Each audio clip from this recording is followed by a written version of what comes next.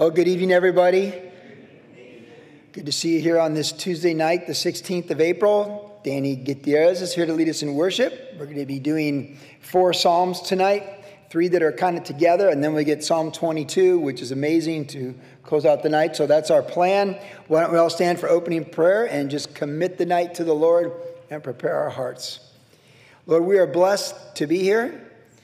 We are grateful for this sanctuary and that you meet us here in this sanctuary and all that we're going through in spirit, mind, body, our emotions, just all that life brings us.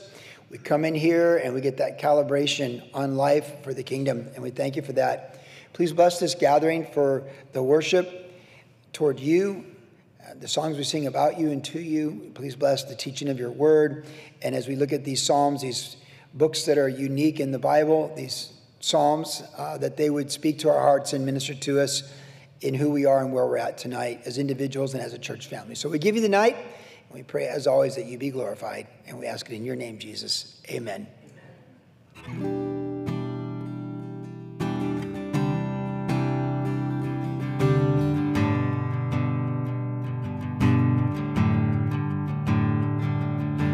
Christ is my reward and all of my devotion. Now there's nothing in this world that could ever satisfy. Through every trial, my soul will sing, no turning back. I've been set free. Christ is enough for me. Christ is enough for me. Everything I need is in you. Everything I need.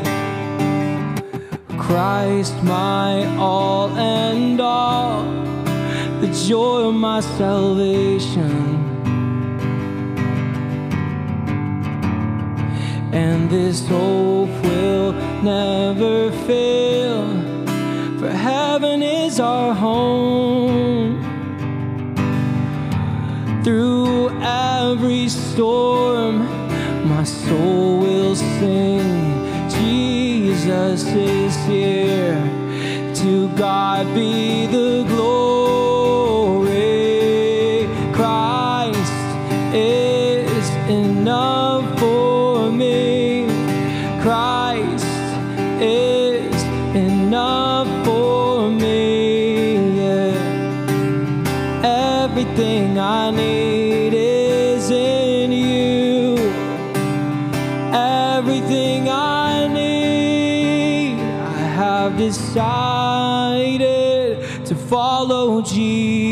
Jesus. No turning back, no turning back.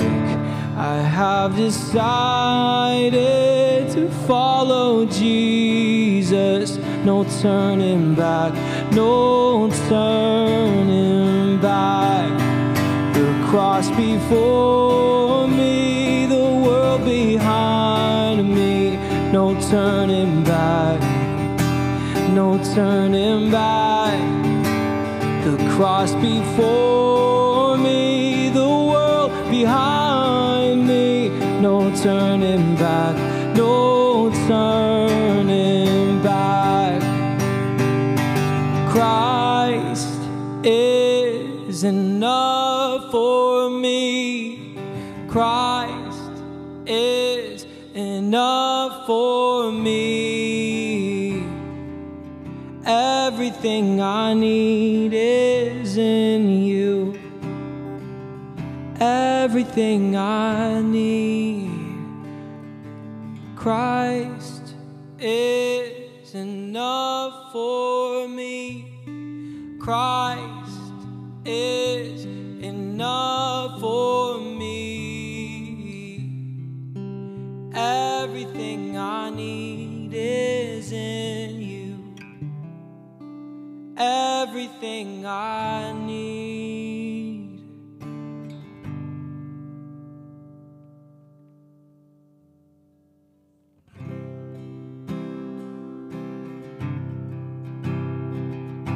Jesus, Lord of heaven, I do not deserve the grace that you have given or the promise of your word. Lord, I stand in wonder at the sacrifice you made. Mercy beyond measure, my debt you freely pay. Cause your love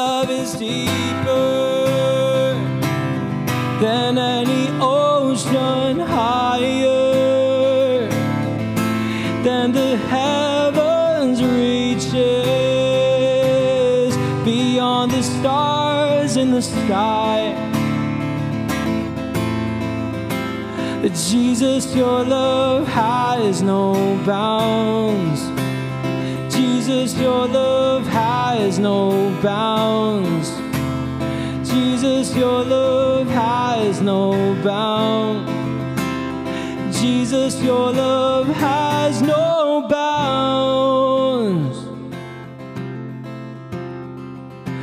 Jesus, Lord of heaven, I do not deserve the grace that you have given or the promise of your word. Lord, I stand in wonder at the sacrifice you made. Mercy beyond measure, my debt you freely pay. Cause your love is deeper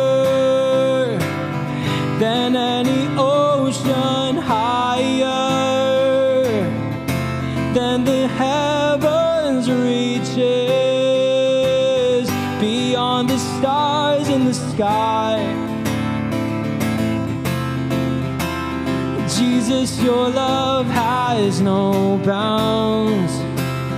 Jesus, your love has no bounds. Jesus, your love has no bounds. Jesus, your love has no bounds. Cause your love is deeper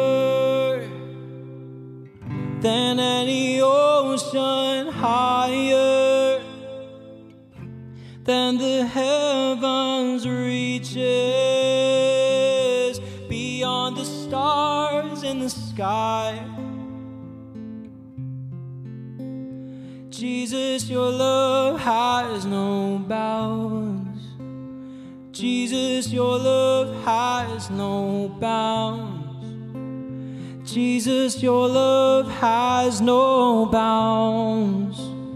Jesus, your love has no bounds.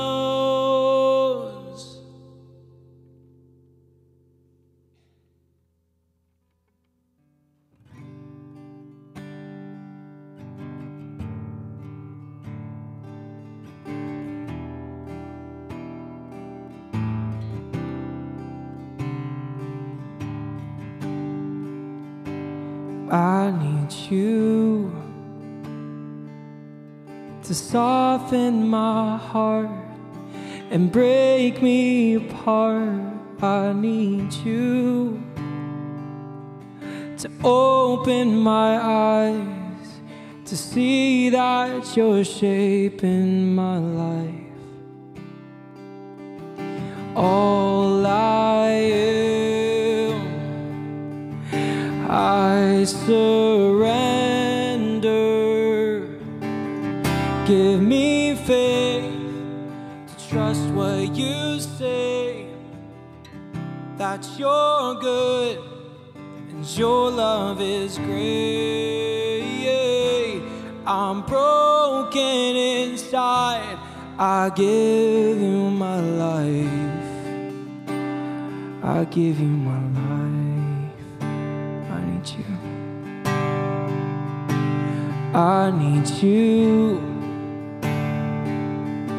to soften my heart, to break me apart. I need you to pierce through the dark and cleanse every part of me.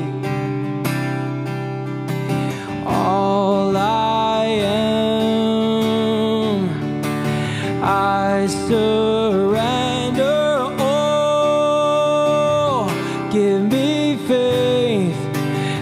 Trust what you say that you're good and your love is great. I'm broken inside. I give you my life. Oh, I may be weak, but your spirit's strong in me. Fail. But my God, you never will. I may be weak, but your spirit's strong in me. My flesh may fail, yeah. but my God, you never will.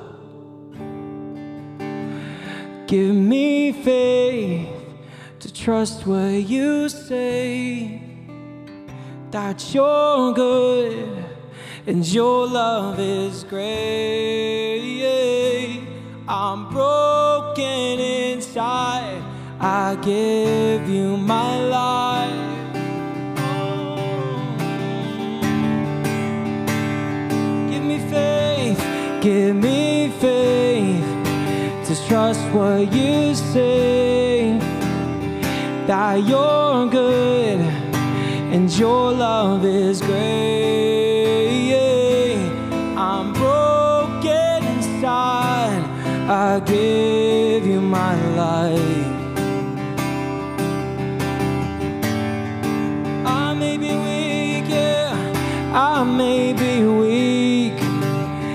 Your spirit's strong in me. My flesh may fail. My God, you never will. I may be weak, but your spirit's strong in me. My flesh may fail, but my God, you never will. I may be weak, but your spirit's strong in me. My flesh may fail.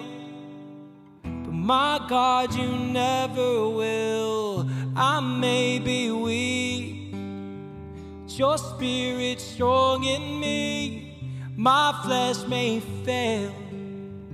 My God, you never will.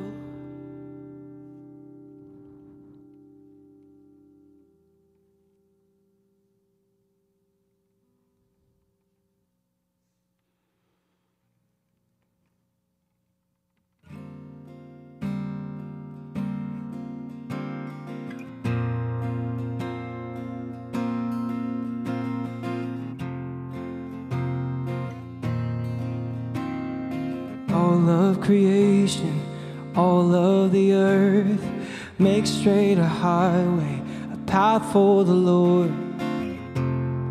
Jesus is coming soon. Call back the sinner, wake up the saint. Let every nation shout of your fame. Jesus is coming soon. Like a bride, like a bride, waiting for her groom. We'll be a church ready for you, every heart longing for our King. We sing, even so come. Lord Jesus, come. Even so, come, Lord Jesus, come. There will be justice, all will be new. Your name forever, faithful and true. Jesus is coming soon. Like a bride ready for her groom, will be church ready for you. Every heart longing for our King. We sing, even so, come, Lord Jesus, come. Even so, come, Lord Jesus, come. So we wait, we wait for you. God, we wait, you're coming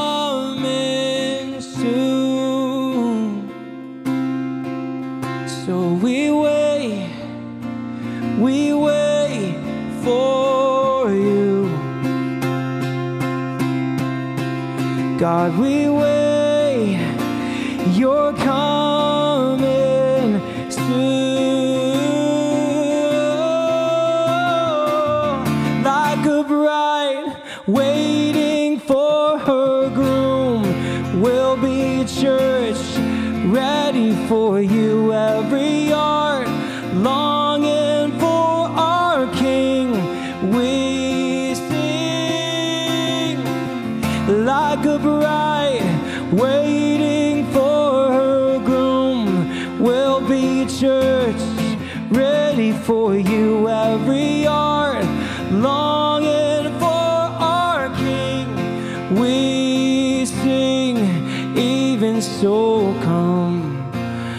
Lord Jesus, come.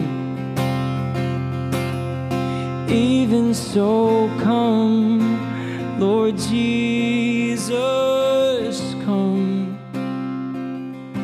Oh, even so, come, Lord Jesus, come.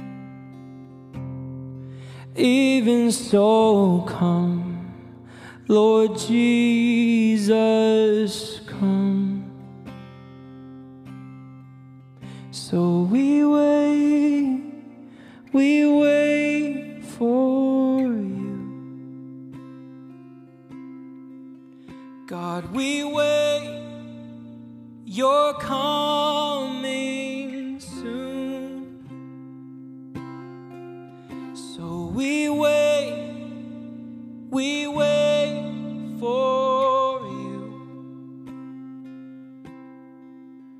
God, we wait, you're coming soon.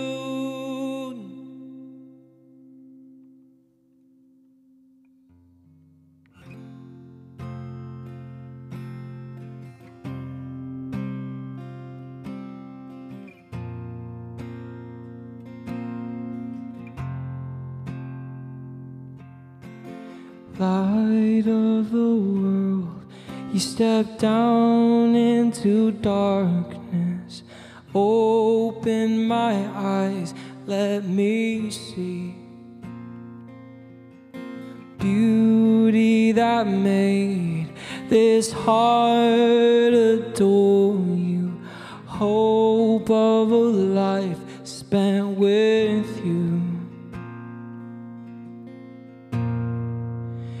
here I am to worship, here I am to bow down, here I am to say that you're my God. You're altogether lovely, altogether worthy, altogether wonderful to me. King of all days, oh so highly exalted, glorious in heaven above.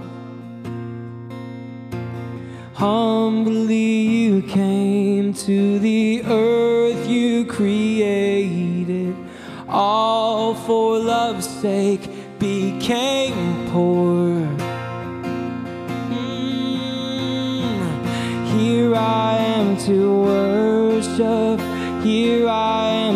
bow down, here I am to say that you're my God. You're altogether lovely, altogether worthy, altogether wonderful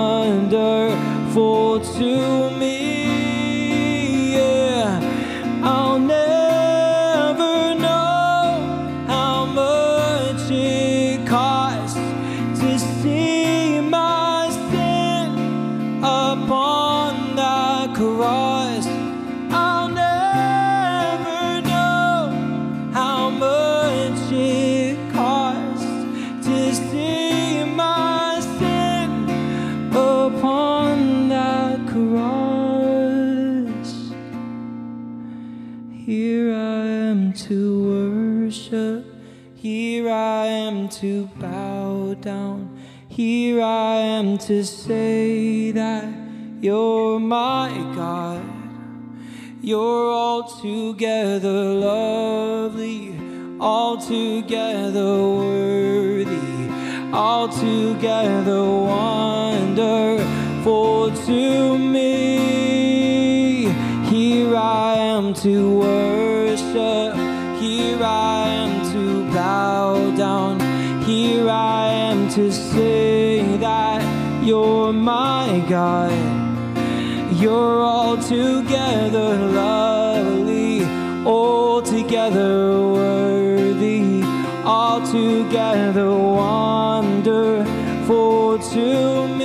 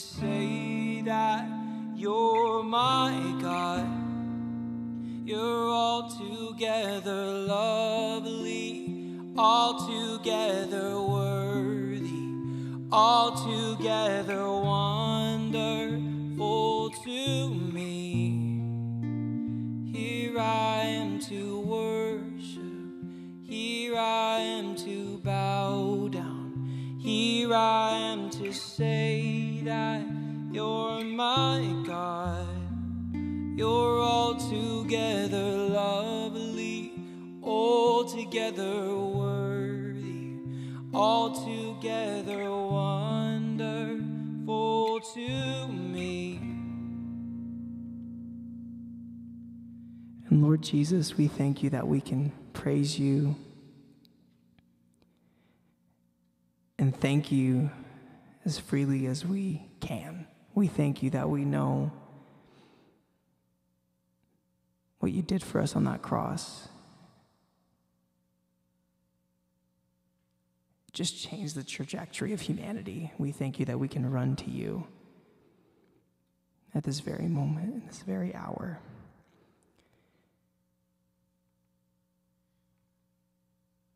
We thank you that you're the rock on which we stand, Jesus. We stand upon you when the winds come and they hit us. The house will not break. We will be safe. And Lord, we love you. We pray that in this time that we would just be sensitive to what you have to tell us through your living word. Holy Spirit, minister the truth to us. We love you, Lord. We thank you. We pray this in Jesus' name. Amen. Awesome. You guys can greet each other. Thank you.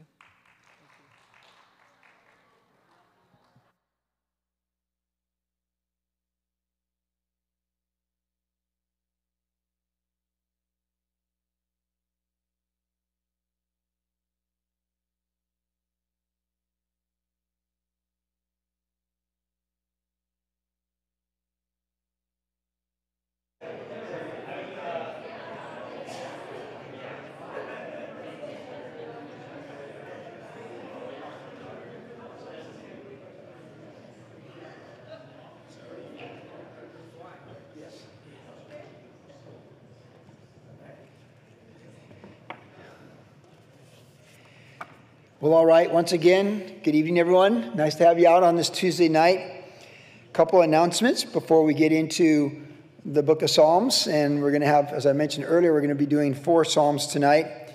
But as I mentioned on Saturday night, I'm leaving for Florida tomorrow. So, uh, yeah, I'm looking forward to seeing my wife. Jennifer's been in Florida for about a week now with the grandkids, and I will be joining her. And so she made her really good cookies the other day. Those that know, know. And um, the grandkids are like pleading for more of grandma's cookies. And she said, when Papa Joe gets here, you get them. So it just added my value uh, in the eyes of the grandkids. I'm going to show up, and Jennifer's going to make her awesome cookies, and it'll be another wonderful thing associated with Grandpa Joe. That's you know that's guys, I'm just telling you, younger people, that's the way it works. When you get a little bit older, that's how you want it to be. So uh, appreciate your prayers for me traveling tomorrow. And then I'll, again, I leave very early tomorrow morning LAX. I'll be afternoon in Fort Lauderdale and then head north up to Vero Beach. And then there for a little over a week, I'm actually teaching at Vero Beach on Thursday night. So that's the first time I'm teaching the main sanctuary. I've taught the youth. I guess I did okay because I'm going to be teaching the main sanctuary. Um, so yeah, Jim Gallagher's in Europe or in the Mediterranean doing a Paul, John the Apostle kind of tour with a tour group. And Nate and Shane are, are running the church, the, the sons, including my son in law, Nate. And they're like, what are we going to do at Thursday? Like, let's get Joey to teach it. So I'm not sure if Jim actually signed off on it, but, uh, you know, we won't burn the house down and we'll just keep it under 45 minutes and that'll do well. All right? So I'm, praying, I'm teaching Thursday night so you can pray for me. I feel like I know what I want to teach too, so I'm looking forward to it. So I'm going to get there on Wednesday, teach on Thursday, and then really I hit vacation mode on Friday with Jennifer and the grandkids. And then we'll be coming back the following Friday, the 26th. So we'll get back into the SNA, Santa Ana, through the ATL and the MLB. That's Melbourne, Florida to Atlanta, Delta to Santa Ana. So we'll get home a week from this Friday, which means I'll miss this coming Saturday. Sam will be teaching, and Danny will be doing worship with his sister Olivia. And then the following Tuesday, when you're here next Tuesday, Danny Donnelly will be doing worship and Sam will be teaching. And then I'll be coming back, like I said, on Friday. So I miss two services. Also, Pastor Brandon Phillips, who we all love very much and miss since he went to go start the church Headlands down there in Dana Point, he'll be up here for both those services. So if you want to hear all the exciting things about what God's doing with the new church plant, it's been amazing. I didn't know, I didn't, you know, he was here for a year and a half. Of course, he was my assistant coach with the U.S. surf team for two years. We became great friends through coaching. And then he came here. He was already involved in ministry with South Orange County, came here for like an internship for about a year and a half. And now he's planted the church. And, you know, I've planted some churches, so you, it's, you're so nervous with that first service. And they had like 60 people and all these kids. And I'm like, man, you're, you're way ahead of the curve. I, I mean, you're always afraid when you start a church, no one's coming, just so you know.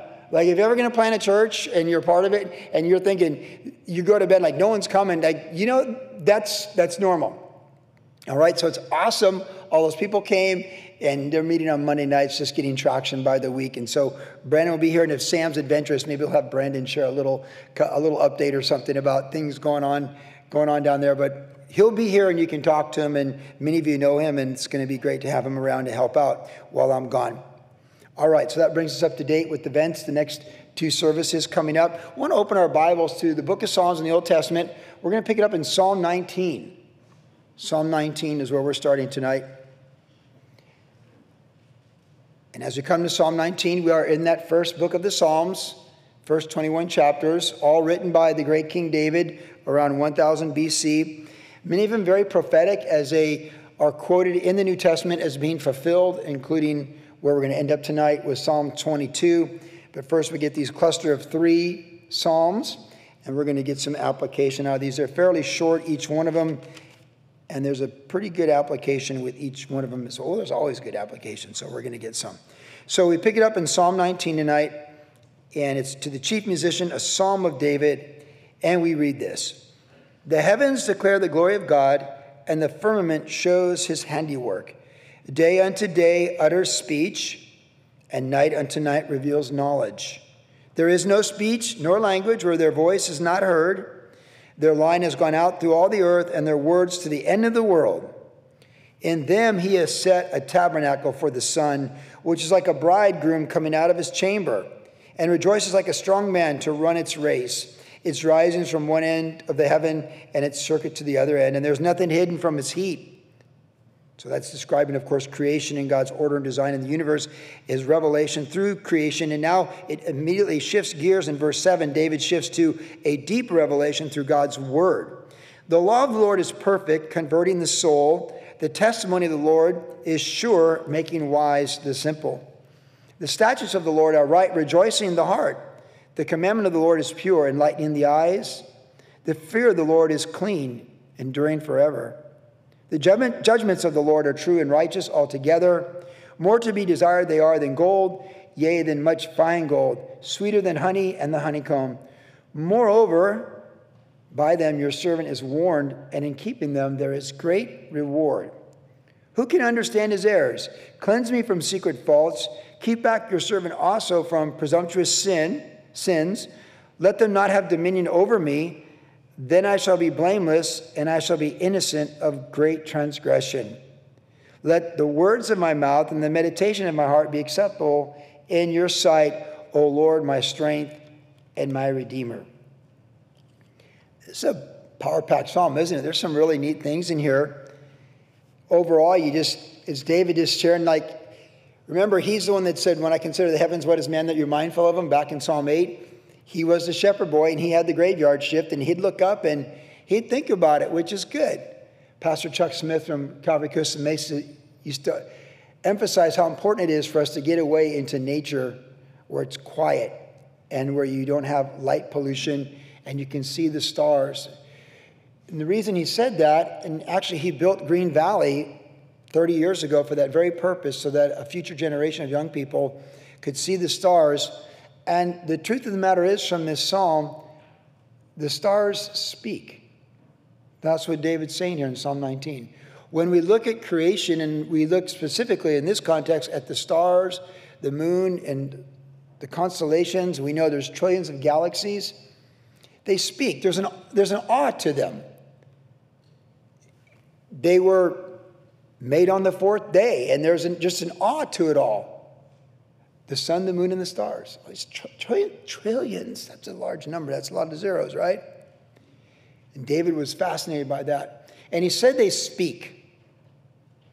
When astronomers study the stars, when we see photos from the Hubble spacecraft and things like that, I don't know if you're like me, but I just go like, oh my, look at this. This is crazy. Like you see like this gas cloud and there'll be like a 2,000 stars and another thing here and a galaxy over there. And I'm always like, Wow. And here's a fascinating thing about planet Earth. I studied this with the Institute for Creation Research. In this giant universe that's expanding but dying at the same time because of entropy and sin that came into the world through our head of our race, Adam, it's been well pointed out that planet Earth has a great view of the universe. We could have been positioned in a lot of other places, like other planets, to have a block view. It's like when you go to a sports stadium and you have a bad seat and there's a partial block view of left field. Or you're right by the beach, but you don't have the, the ocean view. Jennifer and I went to Cayucos not long ago and we stayed at the Shoreline Hotel. Easy to remember, right? Shoreline. It's a really cute little hotel. And we had a little patio that we could see the pier, Cayucos Pier in the surf. And it was a great view and a little green belt in the ocean. And it, we had a good view. Now, there are rooms that are a little cheaper that you got a view of the, the main street in the cowboy town of Cayucos. You can see the antique store across the street, but you're not looking at the ocean. God positioned planet Earth with the maximum return view of the entire universe, and that's not by chance. That's by design. We're able, the early founders of science and astronomy and all that stuff, they've been able to see things. Man has been able to see things from the view of this planet so much better than almost any other planet and place you could be in the entire universe. And God designed it that way. He gave us an ocean view of the universe, if you will. And in giving us that view, he holds us accountable to it. In Romans 1, when he actually was talking about the wrath of God revealed against all sin, that Paul was led by the Holy Spirit And as after he said he's not ashamed of the gospel, for in it is the power of God unto salvation to all who believe, then he said, For the wrath of God has been revealed against all unrighteousness, against unrighteous men who suppress the truth and unrighteousness, and they deny the creator and they worship the creature. He went on to say all this stuff. They're given over to foolish minds and darkened hearts. But he said that the entire human race is without excuse. This is important. They're without excuse before their creator when they look at creation. And that would include the stars, the moon, and the sun. Because there's order and design in how God set it up, and because it's so beautiful, there's something breathtaking about a sunset. You, you just can't grab it though, right?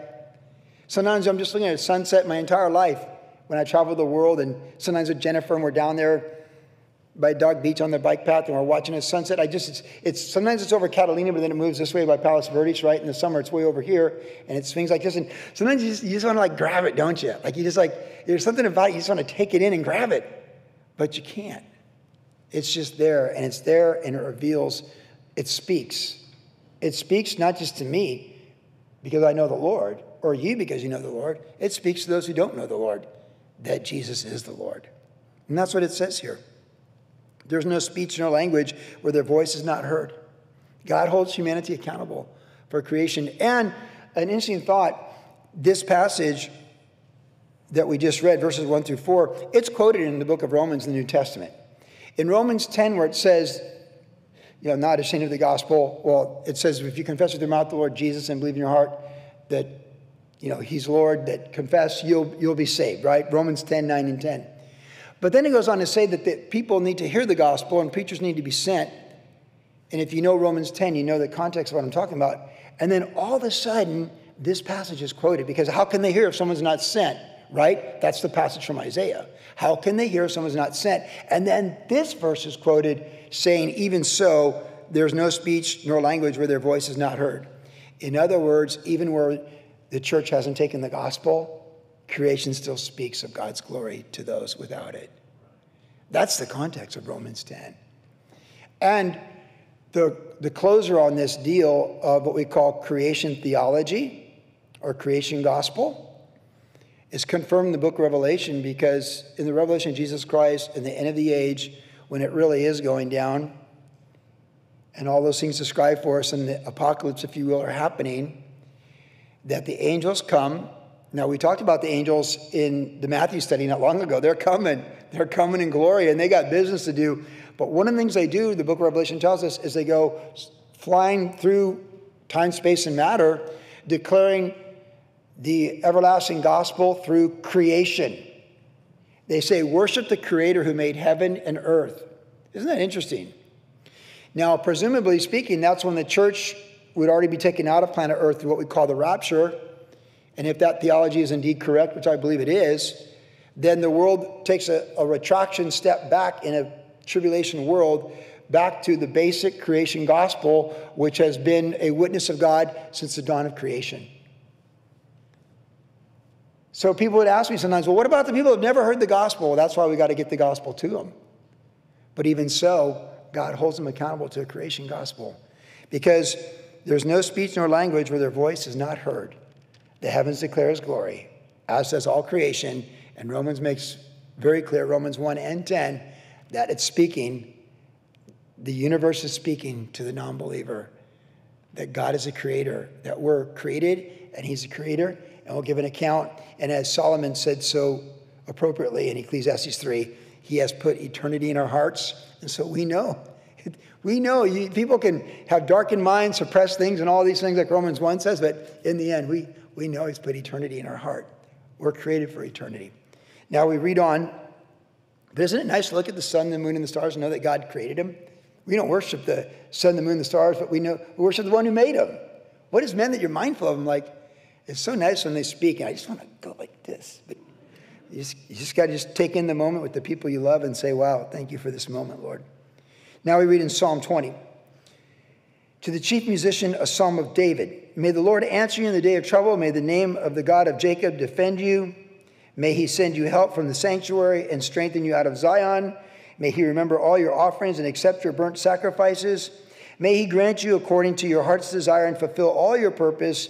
We will rejoice in your salvation. In the name of our God, we will set up banners, our banners, May the Lord fulfill all your petitions.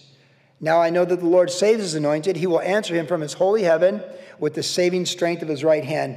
Some trust in chariots and some in horses, but we will remember the name of the Lord our God.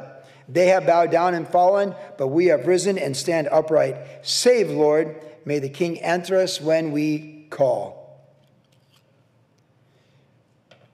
Occasionally, I will quote verse 7 randomly in a Bible study. I used to quote it a lot, but it's, it's in my database. It's, it's sort of like a play in your playbook that you pull out sometimes, maybe not as often, but it's still there. Some men trust in chariots, some people, some people, individuals, they trust in chariots, the strength of men, money, power.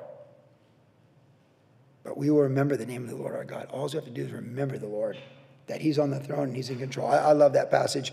But I do want to draw your attention briefly for an application down there in verse 4. David's saying, May he do this for you. May, there's, may the Lord answer you in the day of trouble. May the name of the God of Jacob be with you. May he send help from the sanctuary. May he remember all your offerings and accept your burnt sacrifices. That's I like that verse. But may he grant to you, grant you according to your heart's desire and fulfill all your purpose. Now, because of Psalm 37, verse 4, we know what David really has in mind here because Scripture interprets Scripture. Because Psalm 37, 4 says, Delight yourself in the Lord, and he will give you the desires of your heart. It's kind of like in the New Testament where it says, Seek, knock, and ask, and whatever you ask for, you'll get. Yeah, but we're also told in 1 John, when we ask according to his will, we have what we petition for. You see, that's the key when you harmonize Scripture. And if this just stood alone without knowing more about the totality of the Psalms, it'd still be strong and we could interpret it from the whole Bible as a whole. But really, Psalm 37 4, because it's in the same first book of the Psalms, we understand what David's really saying is that as you delight yourself in the Lord, as the Lord is your hope, your delight, your passion, as you wake up and you're living for the Lord, looking unto Jesus, the author and finisher of your faith, my faith, our faith, as we're doing that, like we're just, we just got joy in the Lord. We're just delighting ourselves in the Lord, and our petitions become to align themselves with the things that He's doing in our life. As Ephesians chapter 2 says, we are His workmanship. So we're not working to get approval, we're working from assurance, having been accepted in the beloved Jesus through His death and sacrifice on our behalf. So we're coming from victory, and He's moving us toward those things He wants to do in our life, those purposes. To the last day. There's purposes to be done till the last day. Older people have a bucket list. I talked with someone today who was talking about the things they want to accomplish in the year before it's done. You know, my, my writing agent, Robert Yealing, who I shared quite a bit about Saturday night with the cancer and all. And today we're talking about things he wants to do in May, in June, and to get to Hawaii in December before he steps into eternity. And I'm probably like, well, you know, it's funny because we all have a bucket list. I want to surf the Great Lakes. I've always wanted to surf the Great Lakes. Must be because I was born in Cleveland and grew up swimming in Lake Erie. But there's good surf in the Great Lakes, and it's just one of those things. It's going to happen if I get another three or four years. There's three states my wife and I haven't been to together Maine, Alaska, North Dakota. I want to, I'd like to do that. I mean, I don't know how serious I am, but you know, if I got four or five years, it could happen. Those would be some purposes. I'd like to go back to Chile with my wife and go see Patagonia down in the south. I'd like to go to Israel with my wife. I'd like to go to Asia at least once with my wife. Taiwan, Korea, China. I've been to Japan many times. I, would like to do stuff like that. It's kind of like a little bucket list stuff. But really, is that the purposes, you see? Because purpose is different than bucket list. Purpose is what God has put on your heart that it wants to be done, He wants to do in your life before you step into eternity. And again, speaking with Robert Yaling today, he's lamenting because you know when you know you're on the, when you know you're past the two minute warning with terminal illness. You know, we always say this you never find anyone on their deathbed saying they should have worked harder and made more money. You never find anyone on their deathbed saying they should have worked harder and made more money. But you find people on their deathbed or in their final chapter saying, I should have focused on the Lord more. I should have focused on my family more. I should have forgiven those people. I should have given this away. I should have done this and I should have done that. I should have let that go. That's what you hear from people. So, fulfilling the purpose, Rick Warren's book, Purpose Driven Life, I did a mastermind study on Rick Warren not that long ago. I never realized this, but you realize Purpose Driven book is Purpose Driven Life is the most read book, pretty much apart from the Bible, in our time. Do you realize how many millions? I thought Rich Dad Poor Dad with 40 million reads, that didn't even touch Purpose Driven Life. Purpose Driven Life is, it, has been read by, the, it's in all these languages. You know, he ended up with the, both, you know, Obama and John McCain at his church back in the day at, you know, Saddleback during the 08 or 12 election. He understood that people need purpose. And he wrote a very simple book, Simplicity and Clarity, about purpose in Jesus Christ and purpose for your life. And it resonated way more than Rich Dad, Poor Dad. Eh, it's just like we are looking for purpose. Our purpose is found in Christ, in who He is and what He's done for us, being saved by faith, and what He has uniquely planned for each of our lives personally with His calling on our life. That's what we're, that's what we're allowed to do is fulfill that purpose. And it was very neat today to be speaking with Bob Yalian and encourage him, Robert, and to say, you know, what we're doing with this book, this book is going to birth a nonprofit, and that nonprofit's going to be doing the Great Commission long after I'm gone if the vision and purpose that I see with my life is going to come to pass. I've got this vision and purpose, like the, the book, the nonprofit, the Great Commission. I've got my lawyer on working on it. We're working on trademarks, all this stuff. We're, we're doing it. And I said, Bob, what you're doing with this book, you're not going to see the fruit, but it'll give you dividends in eternity when you're long gone. And Bob, what I'm doing with this book is going to give me dividends in eternity when I'm long gone. I'll see probably more than you. But in the end, who knows when it bursts this nonprofit for the Great Commission, because the nonprofit, Beyond the Dream Ministries, is for the Great Commission in a future generation. It's, it's for millennials and Z's. It's for my grandkids to be motivated to do what Grandpa Jim Gallagher did with the Bible Training Center in Ghana, what Pastor Joey, the grandfather Papa Joe did with WG and all that we did during COVID with missions and what we're still doing with missions. See, we need to have purpose, we need to find the purpose, and we need to fulfill that purpose, the, pur- the purpose in our life. And ultimately, if you're fulfilling the purpose, when you step into eternity, you'll have more peace about what you've done with your life. If you're here Saturday night, I, I said a quote where a pastor asked me if the ministry in Virginia was in vain because the church no longer existed. And I said, stepping out in faith for the Lord Jesus Christ could never and will never be in vain. That's purpose. For we walk by faith, not by sight. We live by faith. It's all part of the journey. You get the miracle walk with Peter, and then you get to sink with Peter. Most of us relate to sinking with Peter, but still, hey, at least a couple steps walking on water. That's a good memory all the way to convalescent care. Huh? Tell the, tell the, tell the nurse, you know, I walked on water. hey, Peter could say it. yeah, when they were crucifying upside down, hey, you know, I walked on water. He could say it. We all have a unique purpose.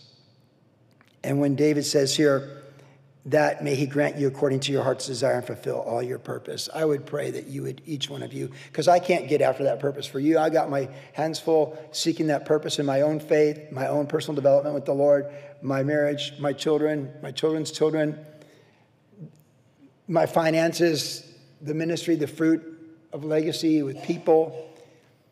Just keep going after your purpose we should all talk to someone who's getting ready to step into eternity. It is very sobering. It'll, it'll just, it's really, it, it'll keep you sharp. When you're talking about a family gathering for all these grandkids and all this family in May, and you know it's a, like a goodbye gathering, you grandparents, how would that feel? You never know when your last gathering is. That's why when I go on a trip, I put everything in order, because I might not be coming back. I always look at it that way when I go on a trip. If I never come back to California and something happens to me, everything will be in order. It'll all run itself the way it's supposed to. But until then, we want to fulfill our purpose. This reminds us fulfill our purpose. WG. Fulfill your purpose, body of Christ. What is it? What's your greater purpose? I mean, something's obvious being a good husband, being a gentle and kind husband, being a loving wife, an encouraging wife, being godly parents, raising your children under the Lord. There's some obvious purposes. But really, we exist for His glory. We exist for an eternal purpose from before the dawn of creation. There's no randomness, there's only intention. Uh, there's a purpose. And we do well to wake up every morning saying, Jesus, you're the author and fisher of my faith. Please show me what that purpose is and keep me going in that direction. So I say to all of us tonight, the Church of Jesus Christ, on April 16th, 2024, may the Lord Jesus Christ grant us according to our heart's desire and fulfill all those purposes He has for each one of us. And may we truly rejoice in his salvation, and lift up banners in the name of our God. Yes, and amen. Psalm 21. To the chief musician, a psalm of David The king shall have joy in your strength, O Lord, and in your salvation, how greatly shall he rejoice. You have given him his heart's desire and have not withheld the request of his lips. See a similar theme to what we just read there. For you meet him with blessings of goodness. You set a crown of pure gold upon his head. He asked life from you. You gave it to him, length of days forever and ever. His glory is great in your salvation. Honor and majesty you've placed upon him. For you have made him most blessed forever. You have made him exceedingly glad with your presence. For the king trusts in the Lord, and through the mercy of the Most High he shall not be moved. Your hand will find all your enemies. Your right hand will find those who hate you. You shall make them as a fiery oven in the time of your anger. The Lord shall swallow them up in his wrath, and the, the fire shall devour them. Their offspring shall des- destroy from the earth, and their descendants from among the sons of men. By the way, there's many former people groups that no longer exist on planet Earth because God allowed them to just dissipate, and many of them are incredibly wicked, and they're gone.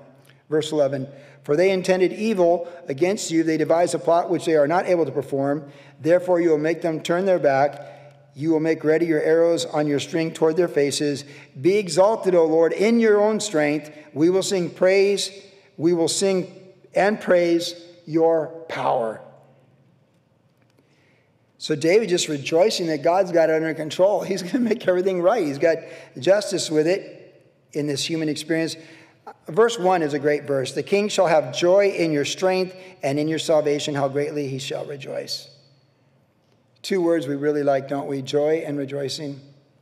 Joy and rejoicing. It's such a wonderful feeling like when you really are enjoying walking with the Lord and you're sincere with walking with the Lord, where you can just have joy. Like a, you just have this joy, and it's not happiness. Happiness is more a choice. Like we choose to be happy, we frame things to, for the perspective of happiness. And you know, as we as I said in Finding Nemo, the movie, happy feelings gone. right? It can go so fast, like happy feelings gone. And we know that life can work like that. But joy, the joy of the Lord is our strength, and we rejoice in the Lord. It's a wonderful thing to come in here twice a week and sing praise songs to the Lord. Our joy is restored, our perspective is reminded and strengthened, and we rejoice in the Lord. This is a really good feeling when you're walking in your neighborhood or walking on the beach and you're just with someone you love or you're by yourself and but you have the Lord with you and you just you just got a smile on your face. You get that little like happy, I want to say a smirk, but that sounds more like something mischievous. You're just like, you're just like, why are you happy? I know I'm just happy. I'm happy. I just don't know. Why are you so happy? I'm just happy. Because the joy of the Lord makes us happy. God is good all the time. And even though things can be unraveling a certain way, we know that his joy is based upon who he is, his salvation, what he's done, and we rejoice of where we're headed. We are going to glory. Those in Christ Jesus, we are going to glory. So we have joy and we rejoice. So praise the Lord. Which brings us to Psalm 22 and how come we're going to glory and how we get to glory. The famous Psalm 22. Now, Psalm 22 is very much a messianic psalm concerning Jesus.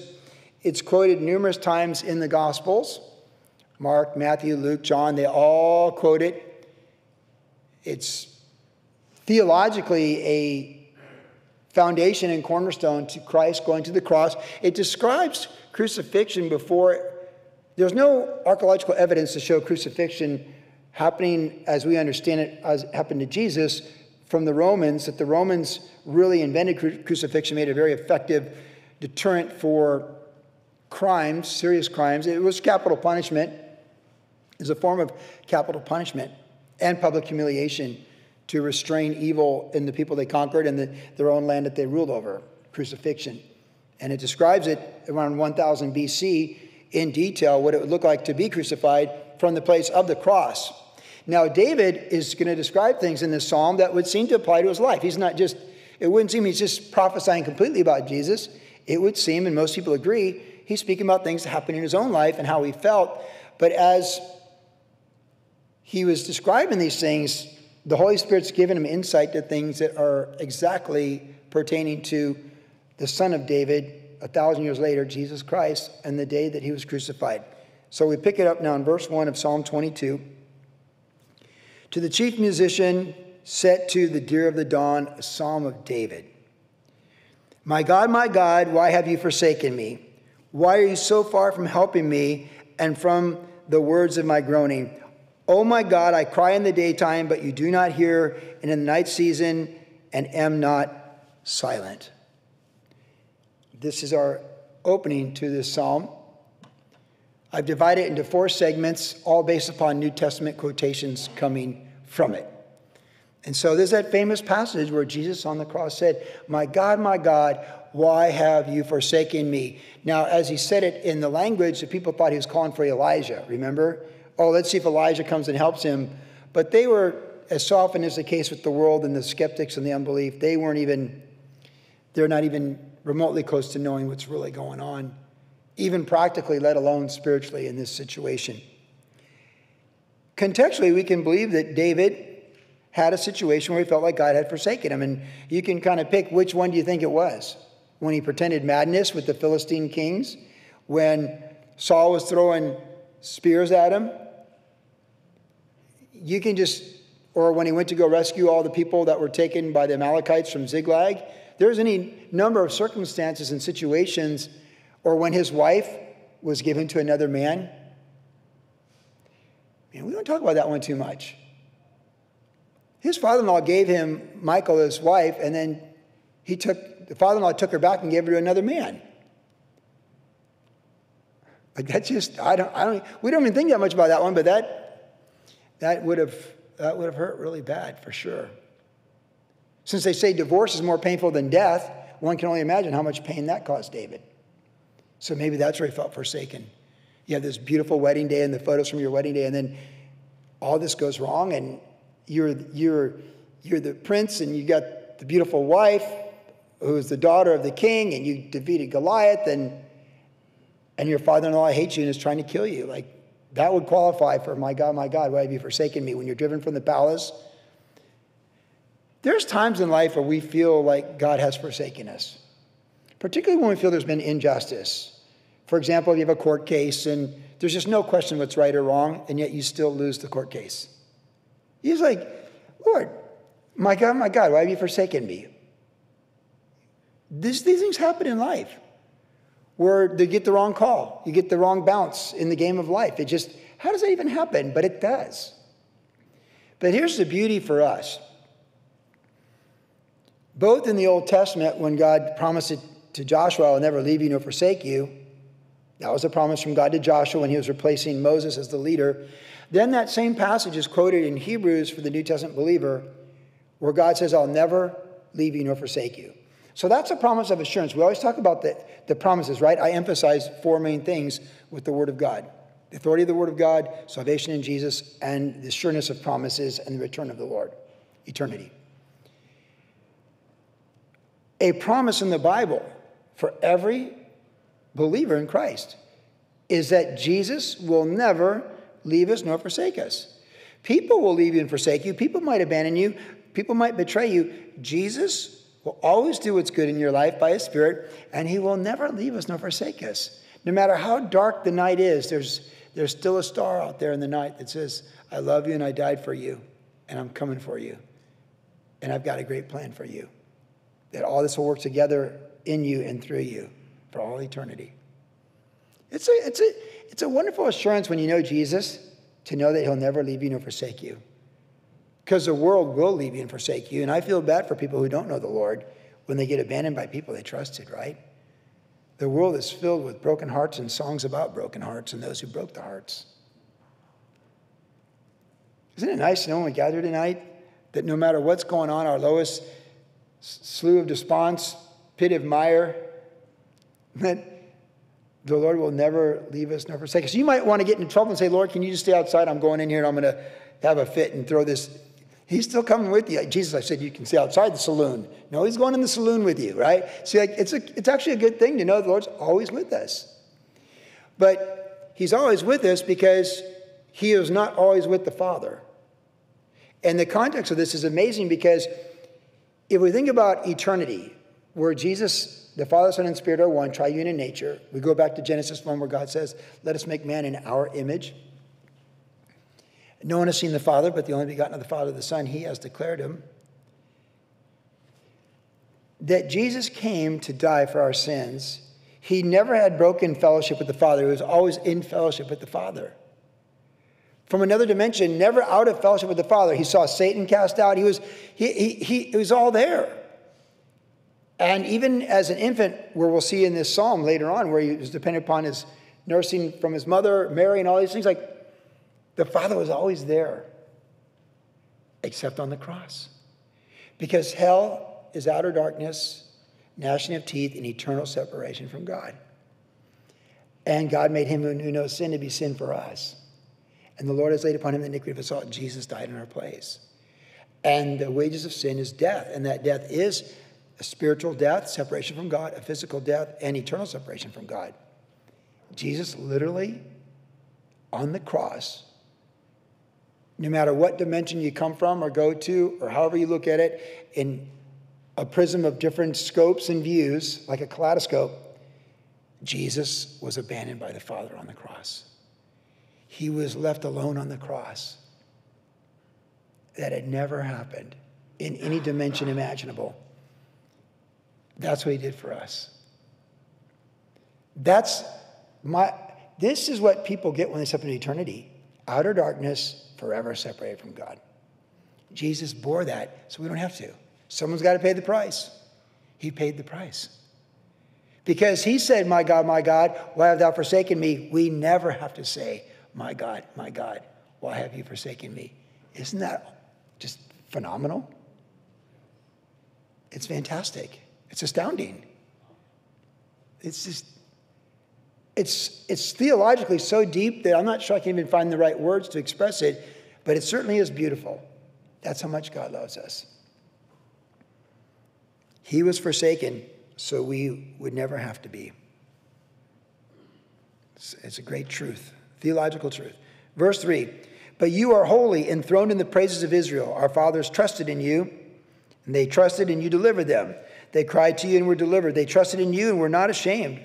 But I am a worm and no man, a reproach of men and despised by the people. All who see me ridicule me. They shoot out the lip and they say, they shake their heads, saying, He trusted in the Lord. Let him rescue him. Let him deliver him, since he delights in him. But you are he who took me out of the womb. You made me trust while on my mother's breast. I was cast upon you from birth. From my mother's womb you have been my God. Be not far from me, for trouble is near, for there is none to help. So, certainly, we can see David saying this in his experiences.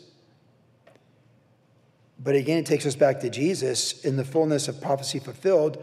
For we are told when he was on the cross, the religious leaders, the scribes, and Pharisees mocked him and taunted him, and they actually quote this passage exactly.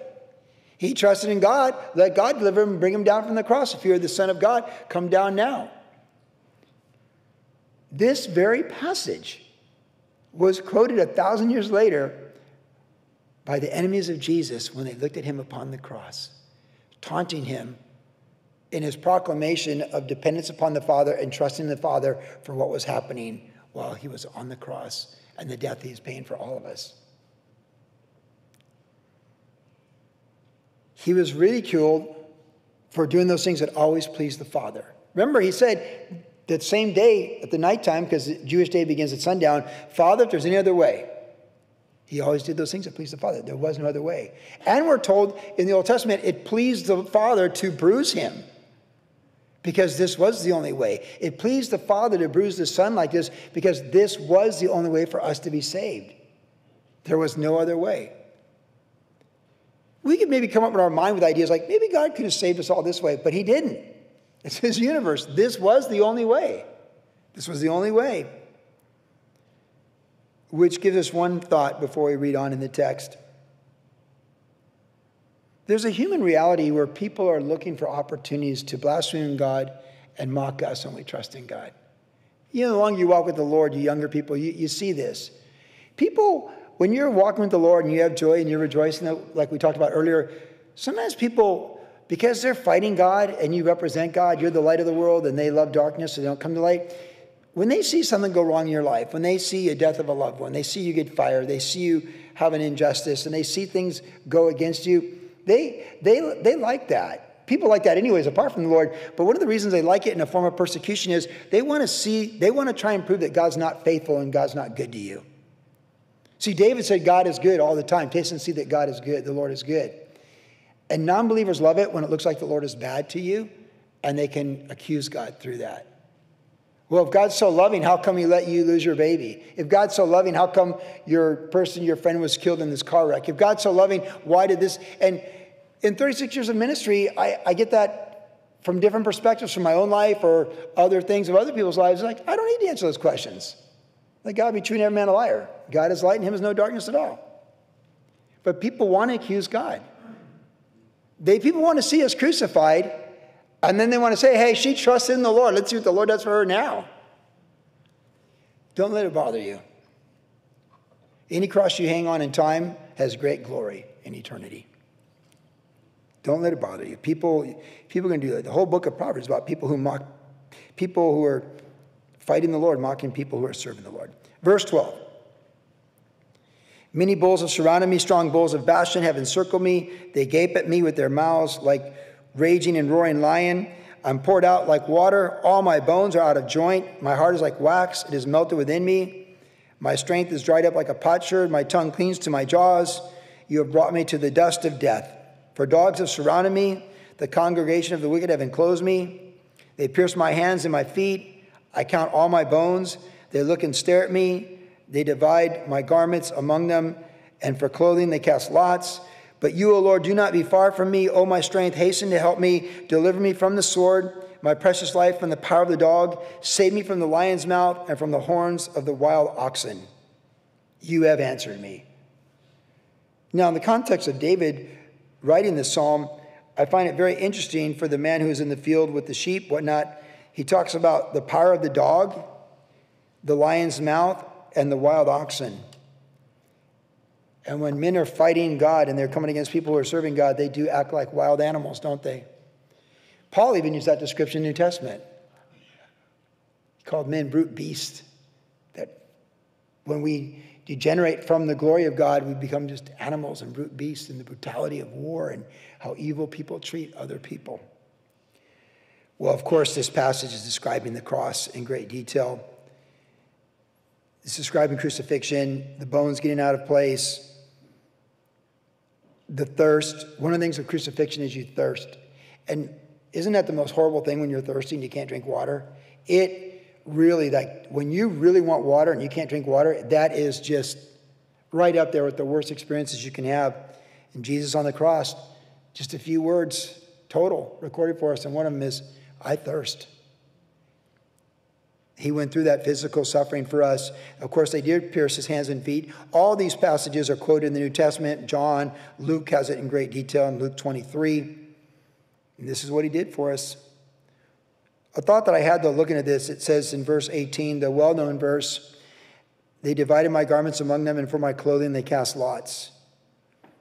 I never thought much about this, but given it time and perspective and meditation for tonight, I thought, you know, when they take your clothes, there's really not much left to take.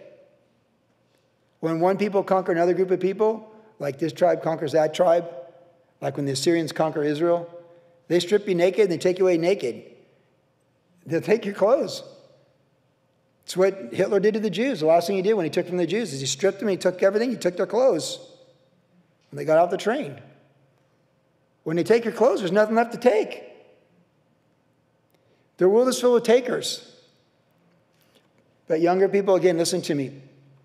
all that you want to hold on to and build, by the time you get in your 60s, you realize I better figure out a way to give it away. You either give it away or someone takes it away. We have to remember that the vast majority of people in the world tend to lean toward being takers and not givers. And you can't let it bother you. You have to just know that whatever you have, a man can receive nothing, a woman can receive nothing it comes from the Lord. And it's hard when people take stuff from you, but human history is people taking stuff from other people. It starts with me wanting to, not me, but one group of people wanting to take this people's food. You know, it's this Aztec tribe versus that Aztec sub tribe, right? It's the Incas doing this, and, and then the Spaniards show up and they do that. Like, this is human history. People taking from other people. We just can't be takers. We're actually told God is a cheerful giver, so we can't be a taker. And really, when, we, when we're stepping into eternity, we don't want to be holding on anything other than the hand of Jesus coming for us as the good shepherd. So just, you gotta let the, you gotta let the takers go. They, they took his life, they took his clothes, and they cast lots for it.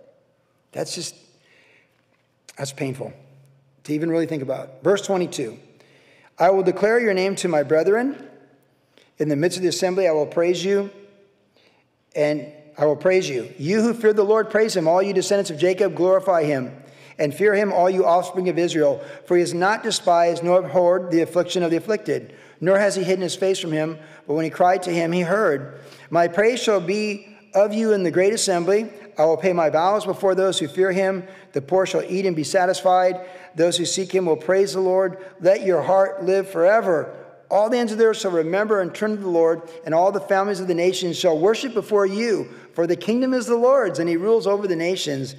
All the prosperous of the earth shall eat and worship, and all who go down to the dust shall bow before him, even he who cannot keep himself alive. A posterity shall serve him. It will be recounted of the Lord to the next generation. They'll come and declare his righteousness to people who will be born that he has done this. David in context, definitely understood the faithfulness of the Lord in each generation. And one generation shall proclaim your praises to another. That's why I have so much confidence for all future generations, because the Lord's faithful in every generation, because Jesus is the same yesterday, today, and forever. Another New Testament verse is verse 22 I will declare your name to my brethren. This passage, and in the midst of the assembly I will praise you, this passage is quoted in the book of Hebrews, chapter 2 where it describes that Jesus had to come and become like a man and suffer so he could relate to humanity. And because he was perfected, or matured is a better choice of words, through his suffering, he's able to save us to the uttermost. That he has in all things been tempted and tested like us, that he can minister to us in every situation we face. So, really, the terminology there in Hebrews 2 is he's not afraid to say we're his brethren, we're like his children, or his brother, actually, like a brother and a sister. He's not afraid to associate with us.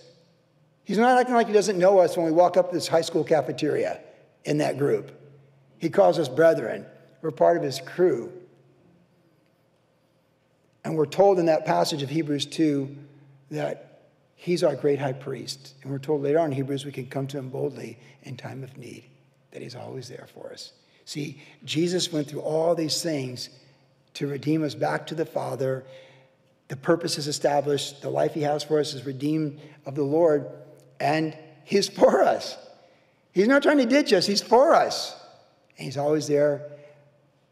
Cheering us on with the great assemblies, we're told in Hebrews, and he's for us. So tonight, WG, don't ever forget God is for us. And Psalm 22 certainly affirms it. Yes, and amen. Lord, we thank you for your word here tonight and its application to our lives. And as we've gone through these four Psalms, the heavens declare your glory. Their speech is heard wherever we can go. Thank you that you've not left anyone on planet Earth without a witness of your order, your design, your character, the beauty of creation, the, the, the awe and majesty of the celestial world. The design and order, it speaks, and it speaks that you are God and there is no other. Thank you for that. Thank you that you, you would want us to prosper in those purposes you've established in our life. You want, you're for us, that our life does have purpose, it does have meaning, not just in general as other believers, but really the uniqueness of each of our lives, Lord. And I pray for that prospering of the, what the plans are for our life. that we be fruitful, that we would move with faith and fluidity in those things you have for us and stay on point. And Lord, in that journey, we pray for rejoicing and joy that we know the King is blessed and we're all kings and queens under you, I suppose. And so we know we're blessed. And even in the worst day, we have joy in you and rejoicing in you, and we can praise the Lord. And of course, Lord, Psalm 22, these amazing things that David, we don't really know David's whole experience when he experienced these things, but we do know he prophesied of what you would do to redeem humanity. And if we go back to Genesis 3:15, Lord, and that you prophesied that, that the Messiah would be bruised but he would crush the head of the serpent. And both things happened at the cross. So thank you, Lord Jesus, that you were bruised for our iniquity and our sins. And thank you that you defeated the power of sin, the devil, and death itself on the cross. Thank you, Lord Jesus, that you were forsaken so we wouldn't have to be. That is incredible. And so no, no wonder the passage is quoted in Hebrews that you're that you call us brethren, that you're you're for us. We're so grateful, Lord. We ditch people because they embarrass us, and I'm just so grateful you don't ditch us because we embarrass you. So thank you for that. Bless your people tonight, Lord. Take us forward. Pray you bless WG the next week and a half while I'm gone. Bless Pastor Sam as he teaches. Bless Brandon and Anthony and Haley and Dean and all the deacons, all the security people working together for a, a peaceful time. Watch over your church. You always have, you always will. So I just pray it'd be wonderful gatherings and next few services with Danny and Olivia leading worship and then Danny Donnelly. And of course, I pray that you'd give uh, myself safe travel and a refreshing time with my family in Florida. We ask all these things in your name, Jesus. Amen. God bless you all. Let's stand for this closing song with Danny, available for prayer afterwards. Be blessed, be encouraged, and always forward.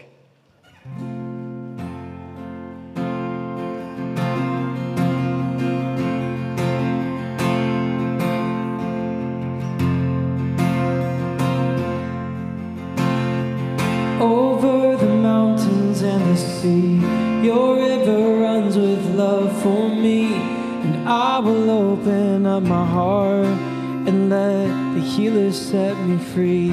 I'm happy to be in this truth, and I will daily lift my hands, for I will always sing of when your love came down. I could sing of your love forever. Could sing of your love forever. I could sing of your love forever. I could sing of your love forever. Over the mountains and the sea, your river runs with love for me. And I will open up my heart and let the healer set me free. I'm happy to be in the truth, and I will daily lift my hands, for I will always sing of when your love came down. I could sing of your love forever. I could sing of your love forever. I could sing of your love forever. I could sing of your love forever. Oh, I feel like dancing. It's foolishness, I know. But when the world has seen the they will dance with joy like we're dancing now. I could sing of your love forever. I could sing of your love forever. I could sing of your